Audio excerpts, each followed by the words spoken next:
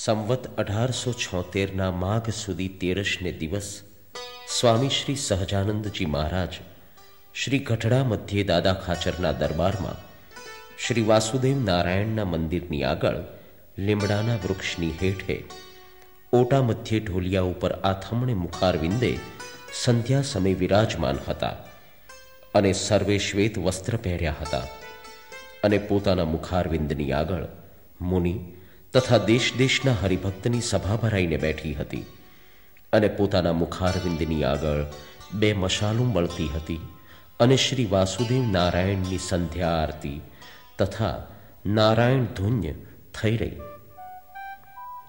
તે કેડે શ્રીજી મહારાજ બોલ્યા છે, સર્વે સાવધાન થઈને સાંભળો, એક વાર્તા કરીએ છીએ.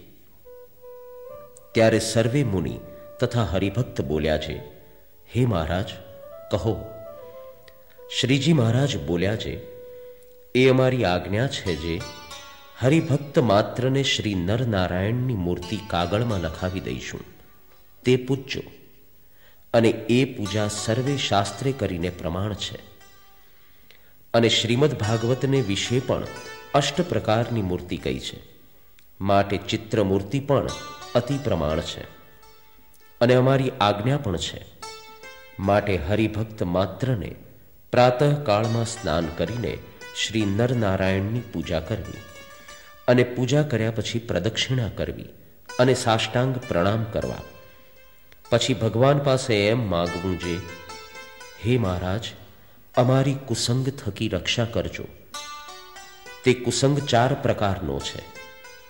એક તો કુડાપંથી, બીજો શક્તિપંથી, ત્રીજો શુષ્ક વેદાંતી અને ચોથો નાસ્તિક. એ ચાર પ્રકારનો કુસંગ છે.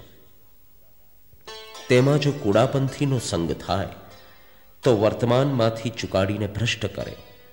અને જો શક્તિપંથીનો સંગ થાય, તો દારૂમાંસ ખવરાવીને સ્વધર્મ થકી ભ્રષ્ટ કરે.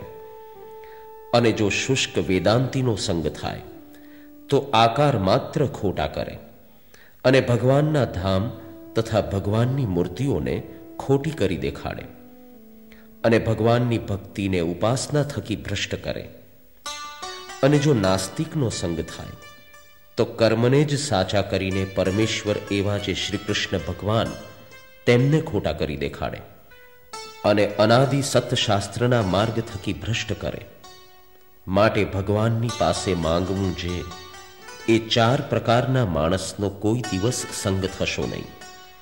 અને વળી એમ પ્રાર્થના કરવી જે હે મહારાજ, કામ, ક્રોધ, લોભ, મોહ, અહંકાર, ઈર્ષ્યા અને દેહાભિમાન એ આદિક જે અંતઃશત્રુ, તે થકી રક્ષા કરજો અને નિત્ય તમારા ભક્તનો સમાગમ દેજો.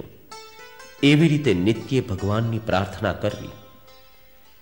અને તમે સર્વે હરિભક્ત એમ મનમાં લાવશોમાં જે એ તો કાગળ ઉપર ચિત્રામણ છે. તે આપણી કેમ કુસંગ થકી રક્ષા કરશે? એવો ભાવ તો કોઈ દાડો લાવશો જ માં. કાજે અમે તો સત્પુરુષ છીએ. તે અમારી આજ્ઞાએ કરીને તમે સર્વે નરનારાયણની પૂજા રાખશો તો અમારે અને નરનારાયણને તો સુધો મન મેલાપ છે. તે અમે નરનારાયણને કહીશું જે, હે મહારાજ, જે પંચ વર્તમાનમાં રહીને અમારી આપેલ જે તમારી મૂર્તિ, તેને પૂજે. તેમાં તમે અખંડ વાસ કરીને રહેજો. માટે એ નરનારાયણ દેવ છે તેને અમે સ્નેહરૂપી પાસે બાંધીને જોરાવરી પણ રાખીશું. માટે તમે સર્વે એમ નિશ્ચય જાણજો જે, એ મૂર્તિ તે શ્રી નરનારાયણ દેવ પંડે જ છે.